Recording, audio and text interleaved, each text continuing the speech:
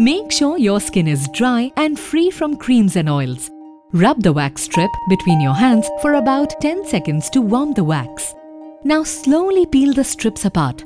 Bending your leg outwards, apply the wax strips onto your bikini line area. Gently rub the wax strip towards the direction of your hair. Now hold the skin taut from under the leg and quickly pull the wax strip away. After waxing, wipe your skin using Veet Perfect Finish wipes. Experience silky, smooth skin by Veet Hair Removal Creams.